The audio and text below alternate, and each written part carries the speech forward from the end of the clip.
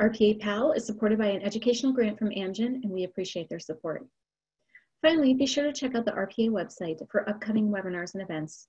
I will now turn this over to our moderator, Dr. Belovich. Thank you. Thank you, Amy, and uh, thank you to all of you tuning in and sticking it out uh, later in the afternoon on a, a June afternoon. But uh, hopefully, um, uh, those of you that don't make it today will review this uh, content at a later time. Um, so, as it's been mentioned so many times before in the other sessions, the importance of the American Kidney Health Initiative and how transplant fits into that profile. And, and, we have a distinguished panel today to kind of really emphasize the importance of how we maximize that pipeline for kidney transplants.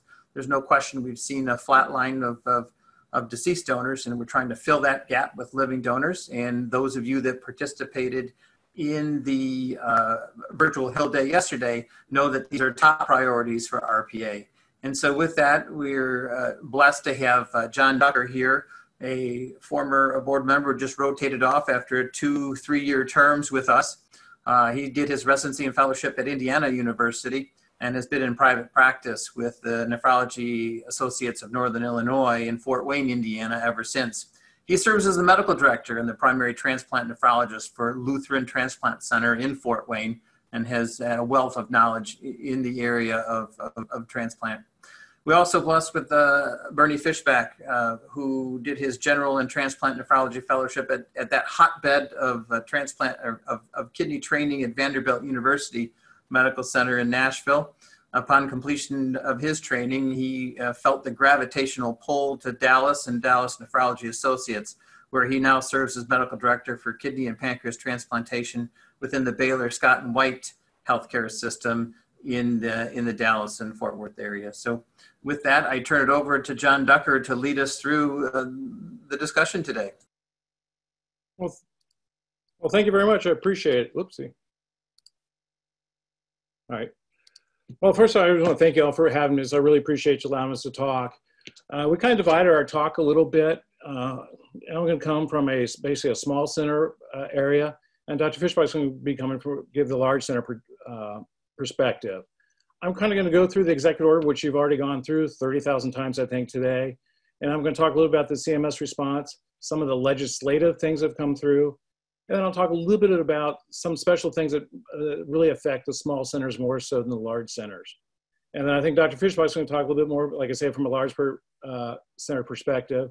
He'll also talk about some of the changes in the allocation systems uh, that looks at our, and also look at our discard rates and some disparities that we've seen in the transplant world. But first, I was going to talk about the executive order advancing uh, American kidney health. Uh, you just saw Rob just talked about. It's been mentioned several times throughout the talk. And I just put on the slide today just the things that really affect that were related to transplant. This ex executive order has some very lofty goals that we've mentioned before. I mean, it wants to decrease the number of Americans with chronic kidney disease by 25% by 2030. And it also mentions things on how we treat it. You'd like to see 80% of people on home dialysis or a transplant by 2025 of new in series, excuse me, and also double the number of transplants in 30 years. So in the executive order, he kind of kind of talks a little bit how he wants to do, how he envision it. And one, and I've kind of put the policies here, like policy two talks about modernizing the organ recovery system. And policy five talking about how he wants to incentivize home dialysis and transplant, you know, financial ways. Um, and in section seven, it really talks a lot about our OPOs and making them perform better, looking how to make sure we, uh, the OPOs are held accountable, that we have uh, good data to look at so we can make good comparisons and bring everyone up to a higher standard. And then section eight also brings into living donors, uh, which by far is, you know, when you look at donation, living donors do the best, so they have better outcomes and you know that's the only part that's truly growing. Um, I added this slide in here because I think we're somewhat unprecedented times right now. We have an executive branch, we have administrators in CMS who are very uh, into kidney disease and into transplant itself. Uh, so, I, and I think we have legislative people who are actually seeing it and are really supporting us. And I put this this quote in here just showing that I mean Ms. Verma really understands it. We've talked about her earlier today. But the one thing I really want to mention in here that's going to really impact that has not really been addressed, which I'll address later in my talk a little bit, is that she talks about an imperfect organ may be better than no organ at all.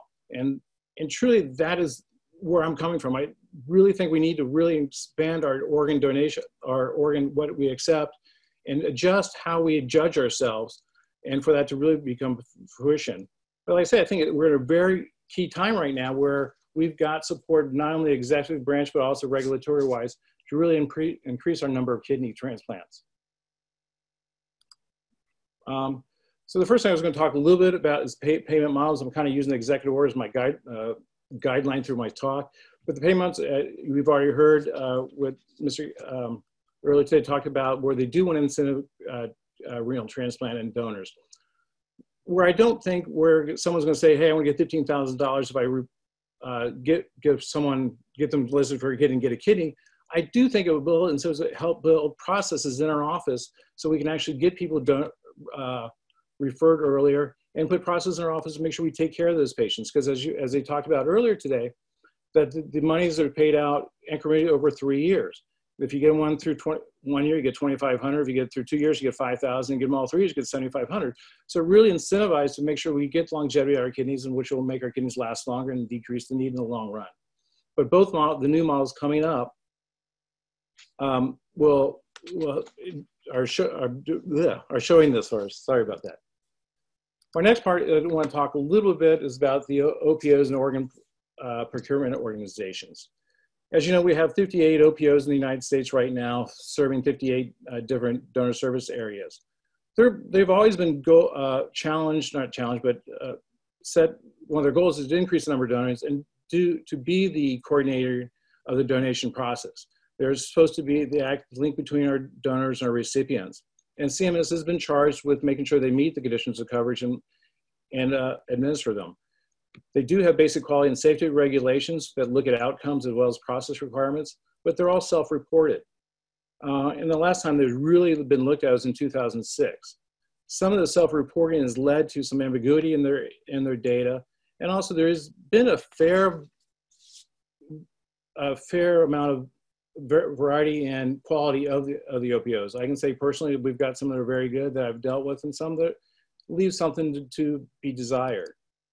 But the organ, the OPO, the proposed rule will hopefully improve all these and bring everyone closer together.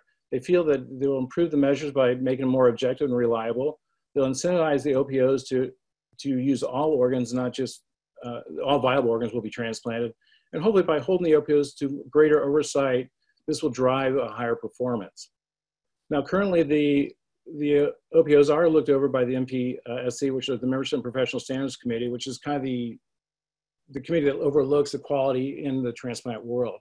They do look at the donor conversion rate and donor yield, but now they're looking at changing that a little bit and looking to the donor, the donor rate measure and the transplant rate measure.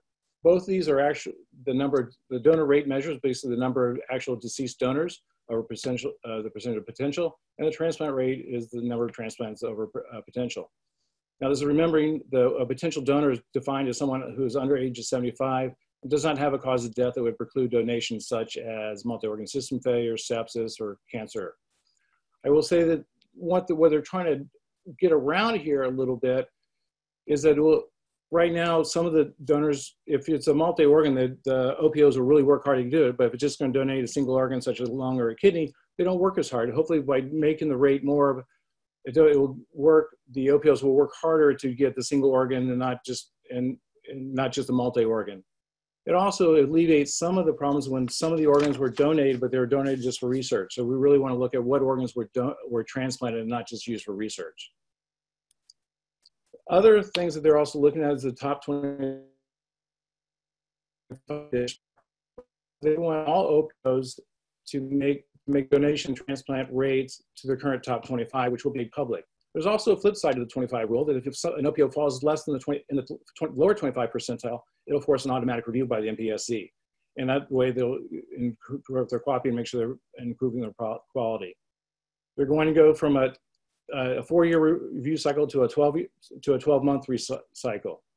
Now note, they've also made some other changes that I didn't put in the slide, basically looking at the OPOs, how they compete for donor, uh, donor service areas there is a feeling that some of these donor OPOs will not be able to sustain, and so they're, they're changed the qualifications for OPOs to, to compete for other donor service areas. Also, the comment period for this ended on the 21st of uh, February. So we'll see what other comments come out from this. Um, CMS truly believes if the OPOs can meet the donation transplant rates, we can increase our deceased donors from 30 by 5,000, basically from 32,000 to 37,000.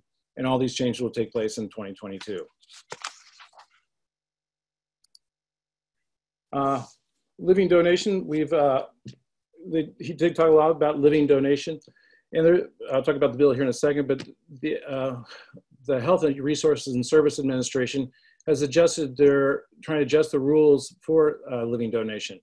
This is not a new concept. It was actually started with the National Organ Transplant Act of 1984, in that they actually uh, have a look, we're looking at reimbursing non-medical expenses such as travel, medicines, and lodging, not medicine, meals and lodging for, for donors.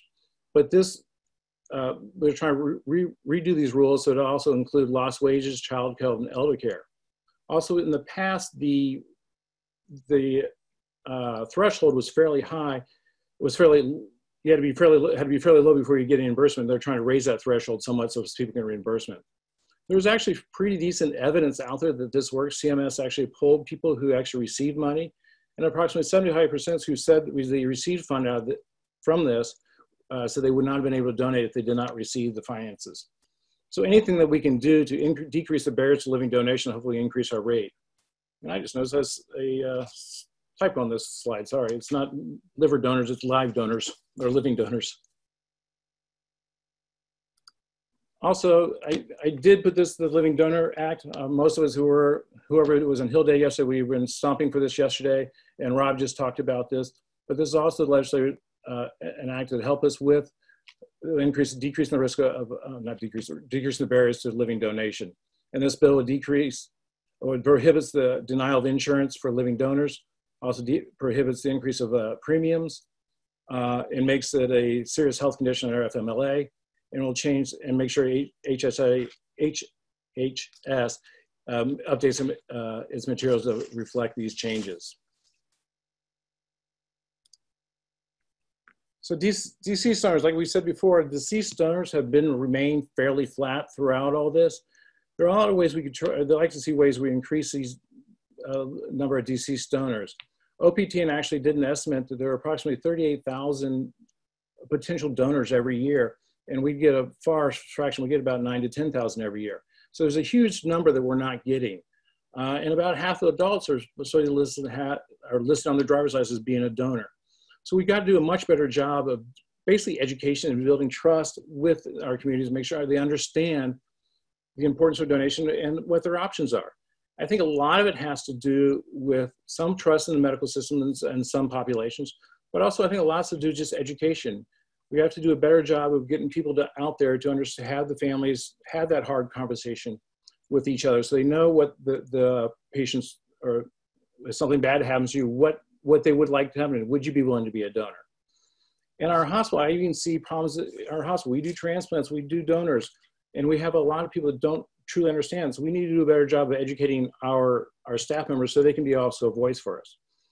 One of the things we've done in our hospital is something called an honor walk. And an honor walk is basically when we take anyone who's been uh, be a donor, we will take them uh, and line the halls with everybody in the hospital that has free time, whether physicians, environmental staff, dietary staff. I've actually had my entire board there one time where what will happen is they will take, we'll line the halls and as the donor comes through with their family, they, we honor, we just sit there and quiet as they walk past it so they can see our respect. And I can see that's done a very good job. We've had, I've had the families, you know, videoing us as they walk through to take their loved one to the operating room. Some other things that are out there are the opt-in uh, versus I mean opt-out versus opt-in. There's some states that have tried this where on your driver's license you actually have to make a physical effort to opt out of being a donor instead of opting in like most places do. Another approach is actually the presumed consent approach, which is a, quite a bit more, a little bit hard. It's, it's similar opt-in, opt-out, but it's actually going to the point that you're, you're presumed that you consented for donation no matter what, and you start the donor work before you really talk to the family.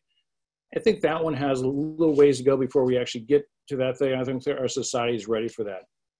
Another thing is the awareness drives. I think, especially in Indiana, I'm very blessed. Our OPO uh, does a very good job with awareness drives. I can go every time I go to a baseball, they're out there and people are signing up. But it all comes down, I really believe, to making sure our, we talk to our patients and our families, make sure they all understand what our wishes were. God forbid something happened to us.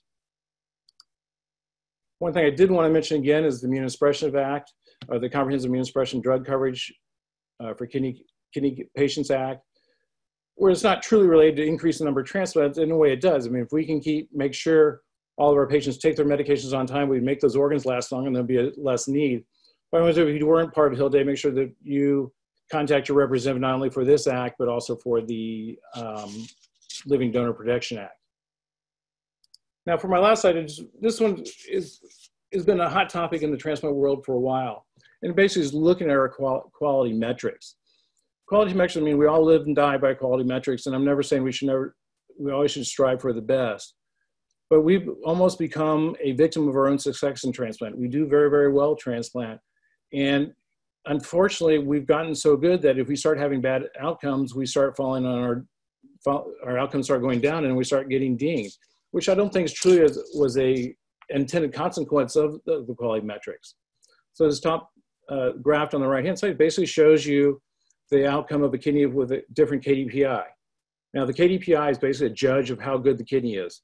And in this, in this uh, measure, the lower the KDPI, the better the kidney is. The higher the KDPI, the worse the kidney is. So what happens is it's hard for centers to take a low, I mean, a high KDPI kidney because it will really ding you, especially in a small program like that I've been associated with, I can do one bad outcome will take me from a five star and two star. And that graph down the national kidney rates is very, and you can do that for every center in the United States. You can click on and see how many bars you got. And so we're very cognizant of it. And so small centers are very leery of taking a high KDPI kidney. Now, there's no way I would put a high KDPI kidney in a 20 year old, but I would consider putting a high KDPI kidney in a 70 year old where I don't need 30 years of longevity of the kidney. I can, if I get five, I'm happy. So it's, that's something re- I think the transplant world is struggling with. We've had conversations with CMS, and we'll see where it ends up. But I think for a small center, even I think some of the small, larger centers have some problems with this, but especially a small center, we are not. I'm not doing transplants because of this. Just for this reason, we be, have become more conservative. So that's actually all I have for my talk. So I'm going to pass it off.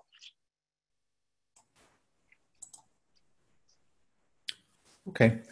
Well, thank you uh, for the invite for today's lecture. Um, if everybody, hopefully everybody can hear me. I can't necessarily tell, but uh, um, we're going to talk a little bit more about uh, maximizing the pipeline for renal allografts, and we'll go into a little bit more detail regarding the uh, KDPI and organ discard rate. And at the end, we'll talk a little bit about where we are now um, for, with regards to the uh, transplant community. So the first slide is these are numbers that uh, everybody is well aware of, especially on a talk for the RPA.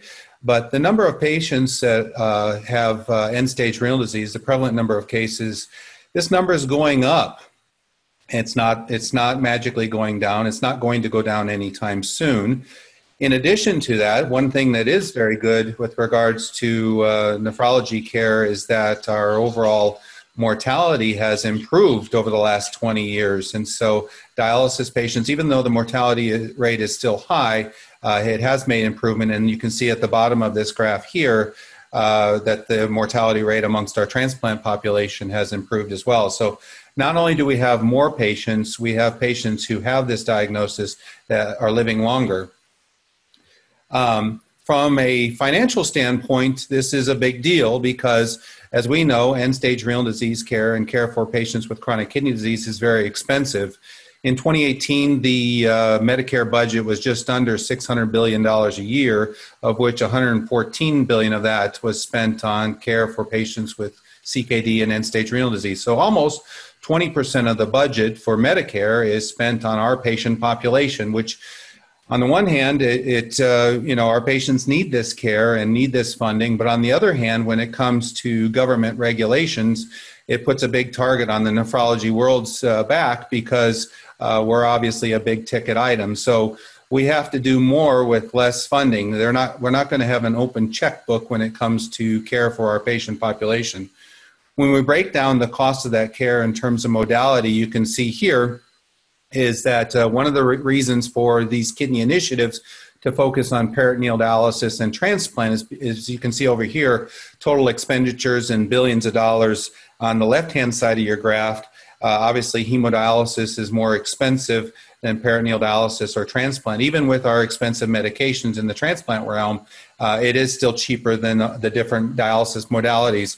And you can see over here on the right hand side, uh, the, the graph shows uh, uh, costs or expenditures per patient per year. And once again, even though our, med- our upfront costs for the surgery and for these medicines are expensive overall, it tends to be much less expensive on an annual basis than uh, either of the dialysis modalities. In 1998, so over 20 years ago, the OPTN came out with the final rule with regards to access for transplantation. One of the statements that they said or made in this uh, final rule was that neither place of residence nor place of listing shall be a major determinant of whether the patient gets a transplant or not.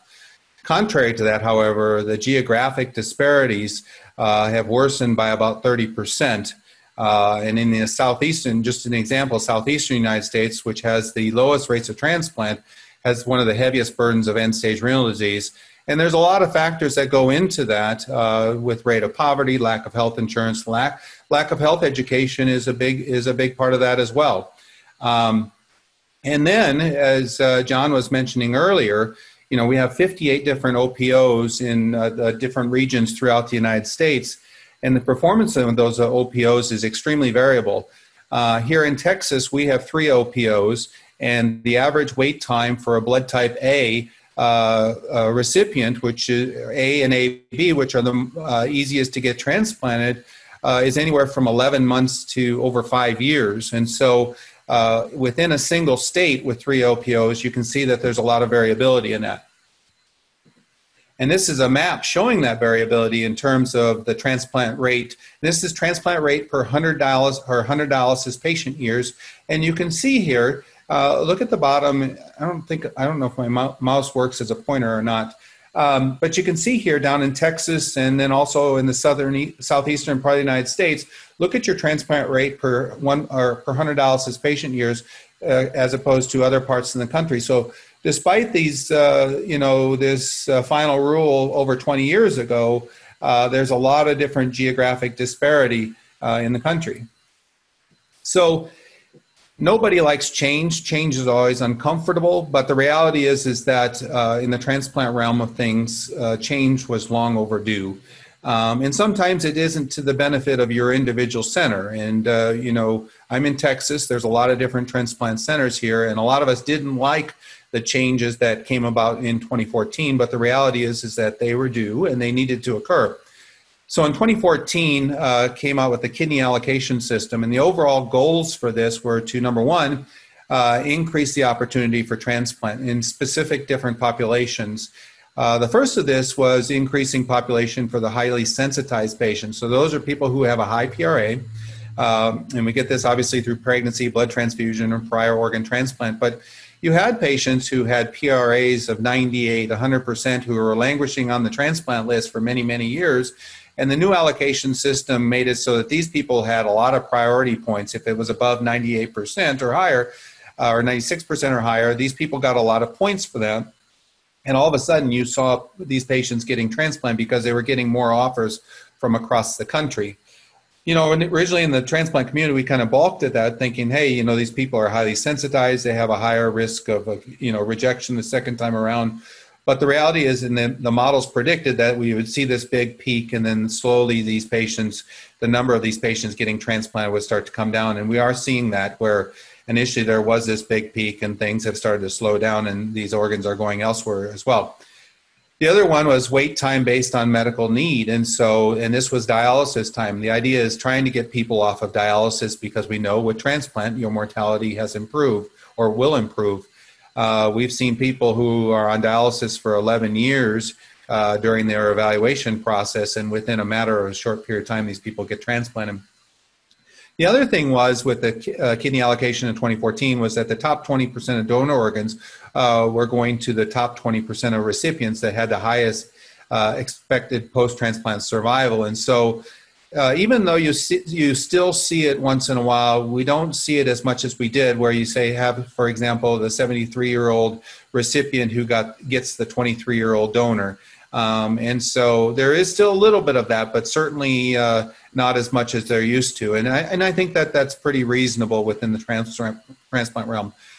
The big one was also trying to improve racial disparities. Um, uh, the African American population uh, here in Texas, uh, in terms of our wait list, uh, for us anyway, uh, our, our wait list is made up of uh, 47% Hispanic, 27% African American, about 22% Caucasian. Uh, and so for the minority populations, uh, the, the new allocation system was really there to design to try to improve their transplant rates as well. We're seeing a little bit of it, but certainly not a big jump up, up but the trends are, are in the right direction not where they need to be, but they are in the right direction. But the other one was uh, the, another one was try to address some of these geographic disparities. And despite this, uh, these these disparities are still there. And then last, oh, last of this was try to improve the organ discard rate. And I put down there the UK discard rate is about 12% of all organs that are procured for transplant, whereas, and I've, I've got some uh, few more slides on this in a little bit, whereas here in the United States, our discard rate is right around 20%.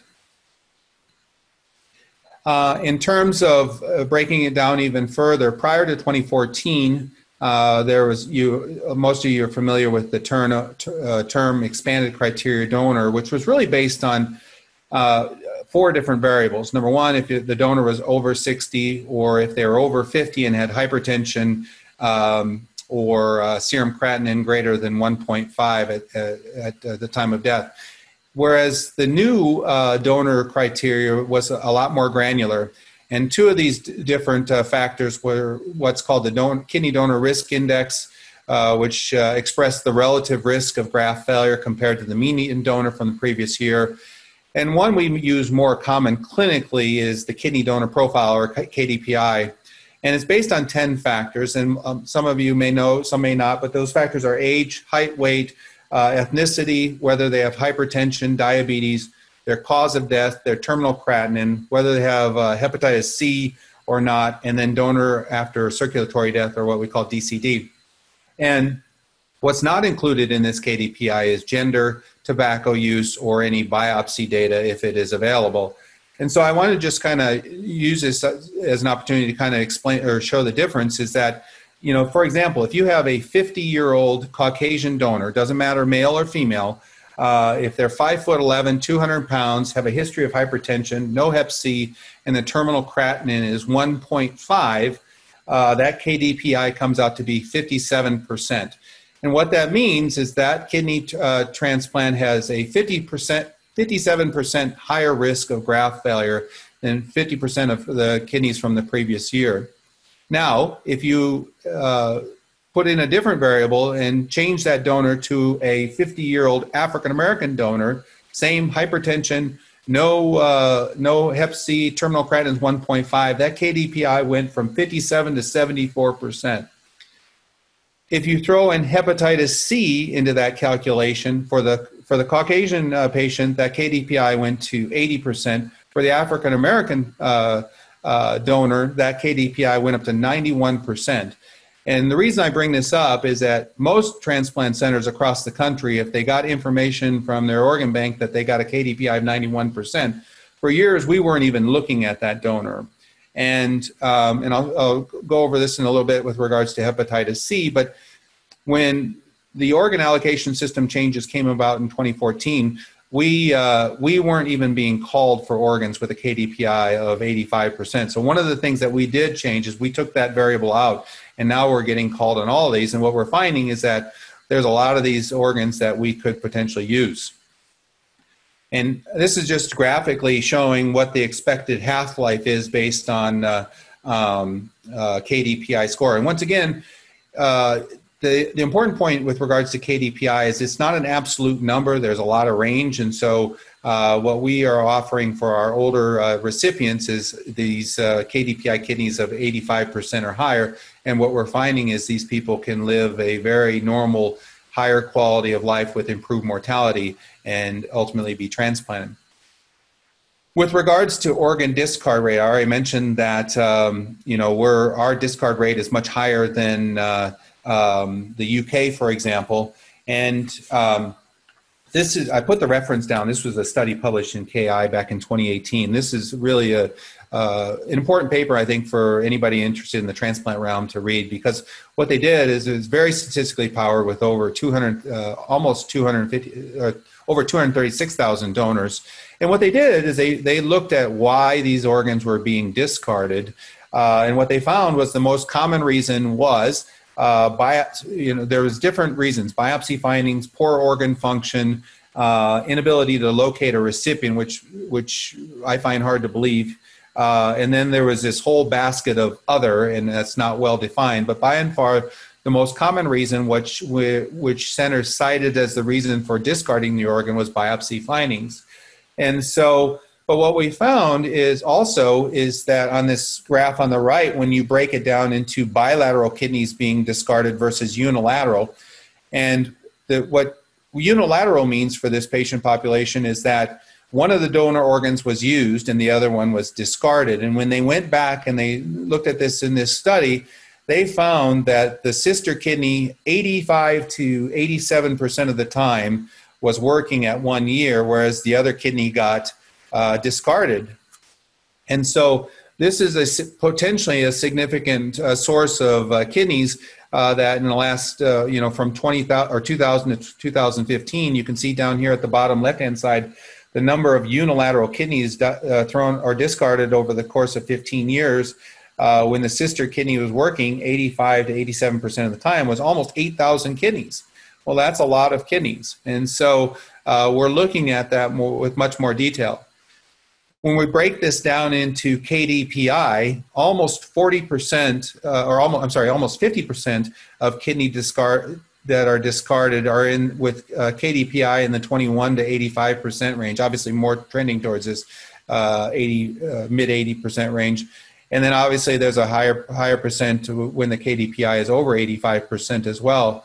But I think more importantly is looking over here at the um, at your uh, at your map when this is this is the United States broken down into the 11 different regions and you can see here what your odds of kidney discard are when when you are in a different region and so I'm in region 4 and if an organ is procured for 12 uh, for uh, transplant there's a 12% higher likelihood that that kidney is going to get discarded as opposed to one of these other areas of the country where these kidneys are getting utilized. Up here in region one in the northeastern part, a kidney that's procured for transplant in the northeastern part of the United States has a 27% higher likelihood of not being discarded uh, as opposed to other parts of the country. So, why is there all this variability? There's a lot of different reasons. Um, but you can see here in the southern United States, where we really have a high incidence of end stage renal care and kidney disease, uh, there's a lot of organs that are being discarded. And I think that we are obligated as a transplant community to look at this in more detail. Um, let's see here. This is broken down into KDPI. Uh, you can see here, so on the top of this with the little, the green uh, line with the X, if the KDPI uh, is greater than 85% and the uh, the kidney has been procured for transplant, about 60% of the time that kidney is discarded. Uh, you can see here, even after 20, 2014, when we had changes to the organ allocation system, uh, those discard rates actually went up based on KDPI. And there seems to be now just a slight downward trend into the different uh, KDPIs. Um, and so um, eh, this is broken down um, into the different KDPI percentages. Uh, when we break it down into age, if your uh, if your uh, kidney is procured for transplant and you're 65 years of age or, or older, uh, over 60% of those kidneys are discarded. Uh, but in the range of 50 to 64, uh, it's a little over 30%. And so, is there a little bit of leeway in those different areas where we can improve uh, the number of organs that are discarded? Certainly, there's these are hot topics for discussion. And as John pointed out early, earlier, when uh, not only are we trying to increase the number of organs transplanted, but we're also under regulatory pressures. And when the public sees that you're a two star or three star center, uh, you're not uh, as op- or you're not as uh, hip on trying to uh, accept a uh, higher risk kidney. So what are we doing? Um, one of the things that we're doing is we're utilizing, in terms of trying to maximize renal allografts, one of the things that we're doing is we are now utilizing Hep C positive organ donors. When I ask my hepatology colleagues whether we should do it, they all say this is a no brainer. In 2017, uh, almost 400 kidneys were discarded just that year alone.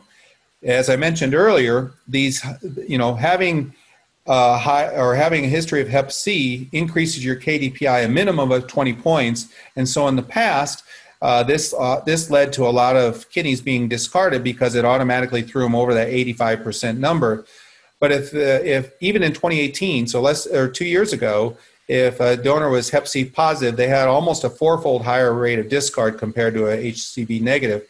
Um, the other important thing here is that almost 8.5% of potential donors are Hep C positive, and the opioid epidemic is real. Uh, so I'll tell you that in the last year, we just within this year, we've had 20 donors that are Hep C positive. Um, we are able to get a, the direct acting uh, uh, uh antiviral therapy. And so it's safe and effective. We've seen no increased risk of acute rejection, 100% uh, cure rate uh, or prevention of uh, long-term hepatitis C in our patient population that we've seen.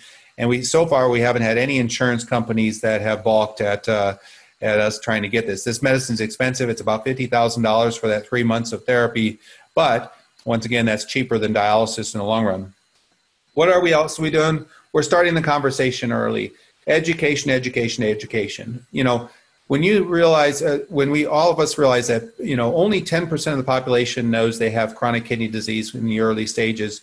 Even when it gets to, you know, stage four or higher, that rate go, is only at 57%. So almost one in two people at stage four CKD don't even know they have the disease process. So we got to get out there and educate we are using higher KDPIs. We got to get comfortable that our transplant patients are doing well, even though they don't have a creatinine of 1.2. I, have got an example. I've got a 74 year old guy. He's got a creatinine of 2.4. He's African American. He's six foot four and weighs 250 pounds. His measured clearance is 40. His life is good. He's got good quality of life. He's off of dialysis. And, and so the idea of being comfortable with that creatinine of 2.4 for this guy, I've biopsied this kidney. It looks pristine and he's doing well. So we have to kind of change our mindset that not all of our patients are going to have creatinines of 1.2. The other thing is that we're doing is that um, we're trying to co- save costs. Uh, one thing I do want to mention is too is maybe the KDPI. I think I'm running out of time here. Um, the, my moderators are smiling at me right now. Um, APOL1. You know, is it time to replace African American ethnicity with APOL1 uh, testing if if it can be uh, obtained in a, a quick time frame. And so, uh, um, because as I saw, being African American increases your KDPI quite a bit, and it has led to a lot of organ discards that could otherwise be utilized. This is our pathway. Um, we are doing better. The number of overall transplants is trending up over the last four years. There was originally a dip down in terms of live donor transplant, but we're starting to see that go up. Um, Advancing Kidney Health, you know, these are the big initiatives. I put this picture of McDonald's here because we have to educate our patients too. McDonald's, our rates of obesity, these types of things. We got to, if we're going to get any headway when it comes to advancing American kidney health, we really got to educate our patient population as well. So it's like John saying, we got to get out there. We got to find creative ways to educate our patient population. So I think that's it. I appreciate uh, both of these discussions and certainly stimulating lots of thoughts and conversation, but we only have a couple of minutes left to finish in. As we know, by making the results public, uh, that kind of had a negative effect on the willingness of some of the small programs to accept kidneys. What do you think, uh, both panelists, what do you think about the uh, putting the forcing OPOs to be, become more public with their uh, reporting, thus having the same negative consequences. Oh, I, I personally think it's a great idea because, as I mentioned earlier, in the state of Texas, we have three different OPOs. And when your time to transplant is average time to transplant is three years versus seven years within one state, there has to be more uh, granularity to that. So I think it's a great idea. And I would agree. I mean, when you, I truly believe. I mean, I'm lucky in Indiana. I've got one OPO, so and it's actually a pretty decent one. But I've had to deal with other ones. I think if everyone knows, sees everyone's data, they all we all can work together to make everyone better and bring bar up for all of them. Appreciate it. And thank you uh, for your time and for your uh, great discussion. I turn it back to Amy.